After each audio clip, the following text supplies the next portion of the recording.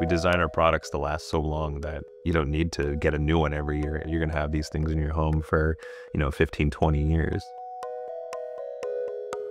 What I do is I create this design and bring to light um, ID's vision.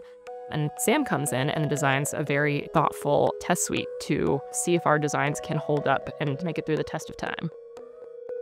A big portion of what we were aiming to do with a smart heat pump was to bring it into the modern day. So having technology that lasts for a long time is technology that can update itself.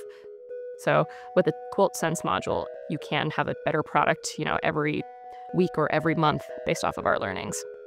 You can test, you know, the Quilt Sense by itself, and we did a ton of that, but how does it integrate with a device? So that actually gets subjected to a pretty harsh environment because it's right near the outflow of the air.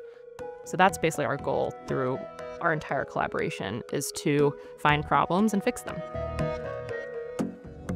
We had to do a ton of performance testing. And so that involved thermal design, mechanical design. There was a lot of factors that went into making all of our devices less obtrusive in the home.